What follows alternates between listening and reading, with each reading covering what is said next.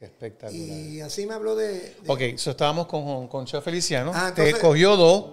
Tengo que pensar que falta la más importante. Entonces estaba así, de momento le dije, yo no sé si te interese esto, porque me dijeron que tú querías escuchar salsa. Pero tengo esto también. Amada mía, grata sorpresa la que me has dado. Qué fuerte, José. Yo necesitaba un amor. Me has enamorado. Amada mía, Bellísimo. eres mucho más de lo esperado. Sí. Dulce mujer que había soñado.